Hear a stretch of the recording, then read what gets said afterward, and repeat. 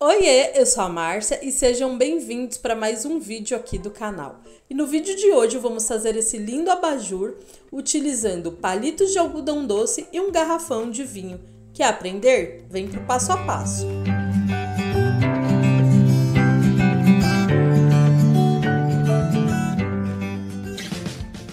E claro, nós vamos precisar de um garrafão de vinho de 5 litros. Vou utilizar uma broca diamantada para fazer um furo por onde nós vamos passar a fiação da luminária.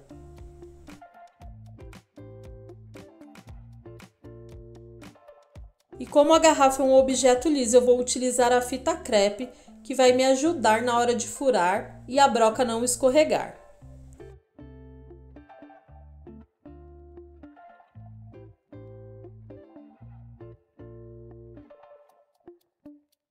É bem fácil de furar. O segredo é manter a mão firme sem colocar peso e sempre ir molhando, porque a broca esquenta e corre o risco de estourar o vidro.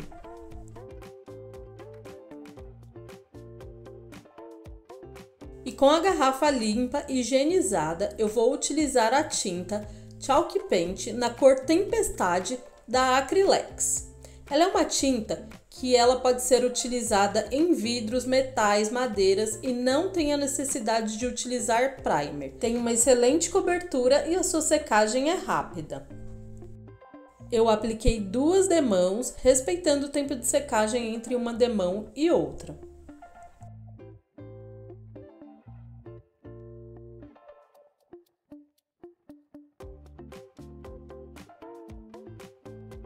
Com a tinta já seca, agora é hora de fazer a instalação elétrica. Eu já tinha esse soquete de uma luminária, então eu resolvi reaproveitá-lo. A instalação desses soquetes é bem simples, mas como sempre um é diferente do outro, você vai seguir as instruções do modelo do seu soquete. Então eu soltei ali o fio para poder passar por dentro do garrafão. E para facilitar, coloquei uma linha e um pezinho na ponta, que vai ajudar a sair facilmente pelo gargalo. E aí foi só reconectar tudo de novo e no final colei o soquete na boca do garrafão com cola quente.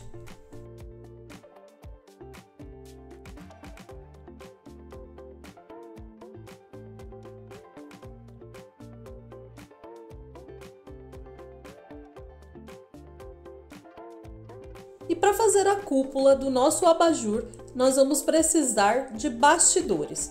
Esse aqui eu comprei em lojas de MDF e paguei R$ 5,00 nessa duplinha. Como o par vem dois tamanhos diferentes, um maior e um menor, eu comprei dois pares para poder utilizar os dois tamanhos maiores.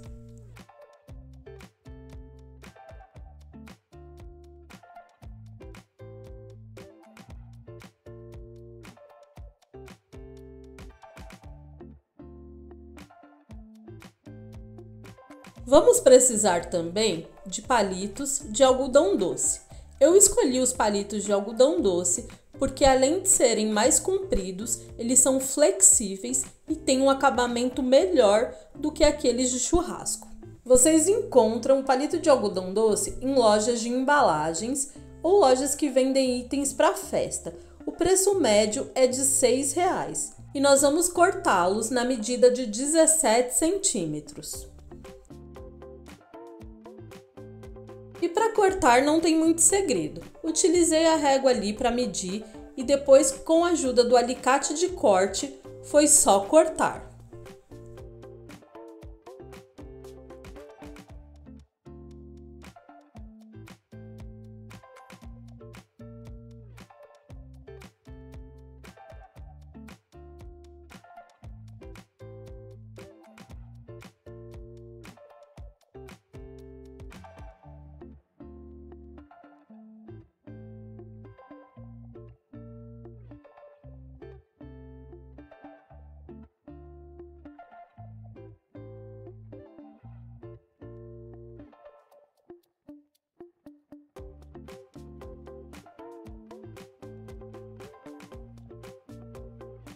Agora essa é a parte que a gente tem que ter mais cuidado na hora de colar os palitos.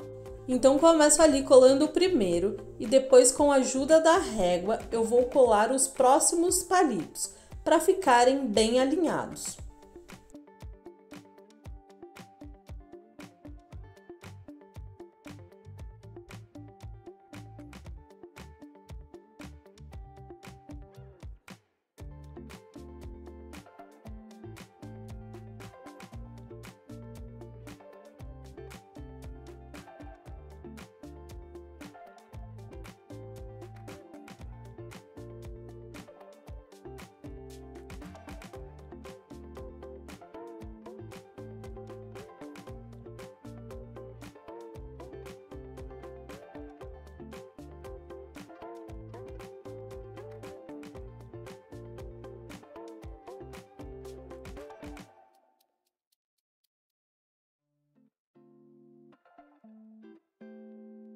E o espaço que eu vou deixar entre um palito e outro é de meio centímetro.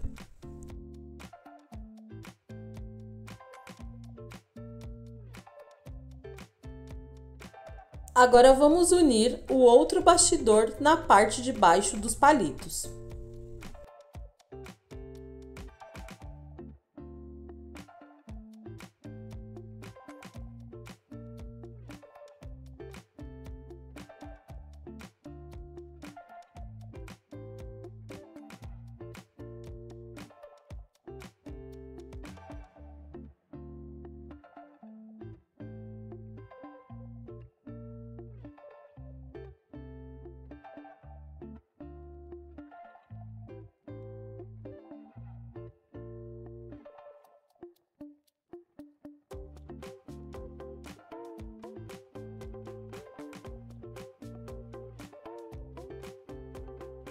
E depois de fechar a cúpula, agora eu vou fazer uma base para nossa cúpula, para poder encaixar a cúpula no garrafão.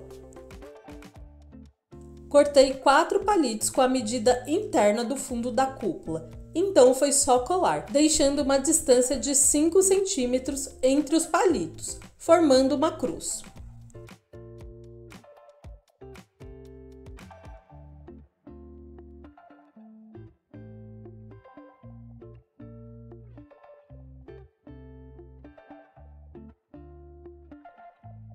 Com a cúpula praticamente pronta, vai faltar somente os acabamentos. Então vamos começar pelos pompons. Vou utilizar essas meiadas de linhas para bordado. Vocês encontram em lojas de artesanato e custa em média R$ 3,00 cada cor. Utilizei a régua como molde para sair todas no tamanho padrão. Sem muito segredo, dou 16 voltas com a linha na régua.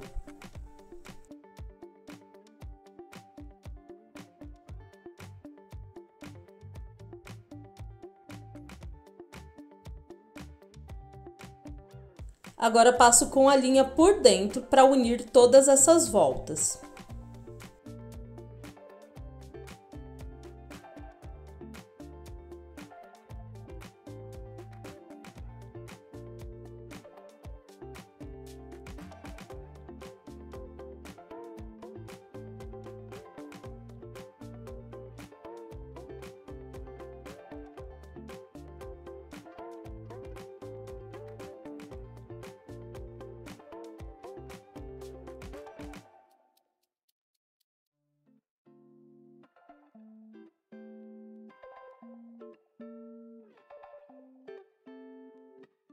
Retiro da régua e novamente com a linha na ponta dou outras laçadas para poder fazer um pomponzinho ali na ponta. Eu dei em torno de umas 5 laçadas e amarrei.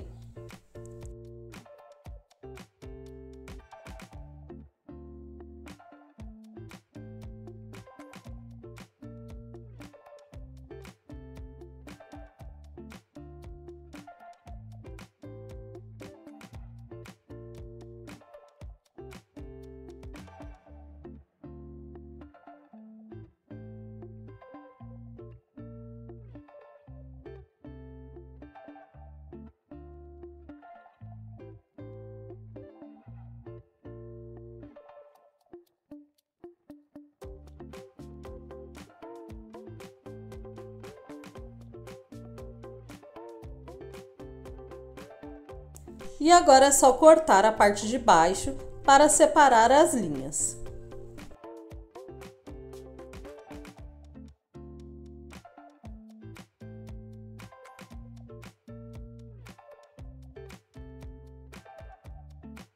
E com a ajuda da escova de cabelo, eu penteio para desfazer as tramas.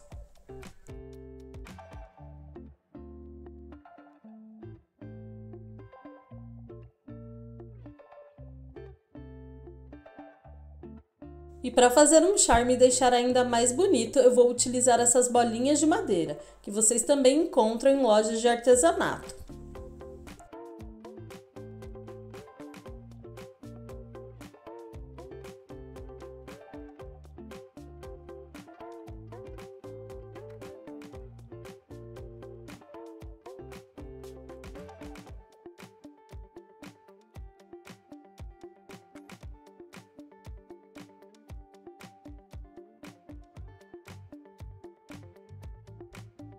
Agora vamos para o acabamento da cúpula.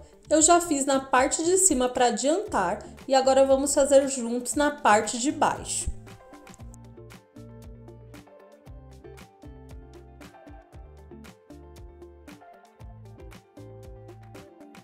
Eu utilizei esse cordão de sisal com algodão, mas vocês podem utilizar qualquer cordão que tiverem ou acharem melhor.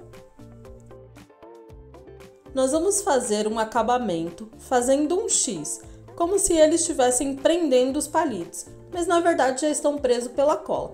É mais para dar um acabamento e dar um charminho a mais. Sem muito segredo, nós vamos primeiro dar uma laçada para o sentido do lado direito. Depois nós voltamos fazendo para o sentido do lado esquerdo. Assim vai formar um X de maneira mais fácil.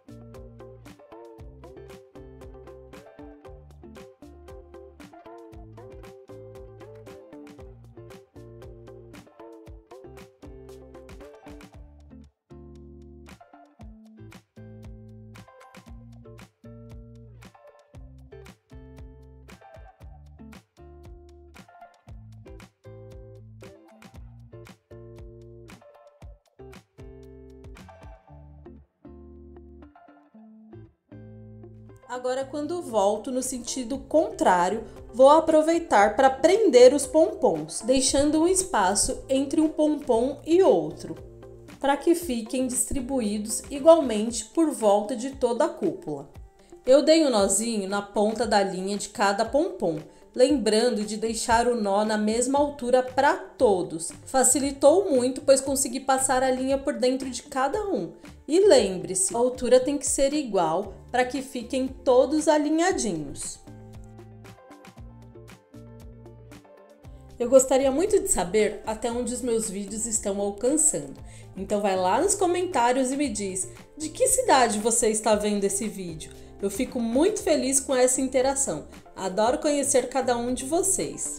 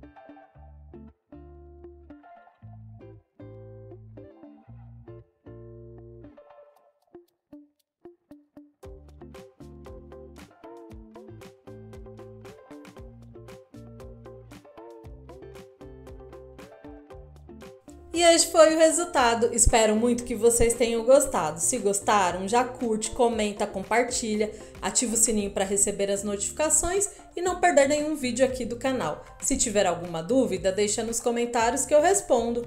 Beijos e até a próxima. Tchau!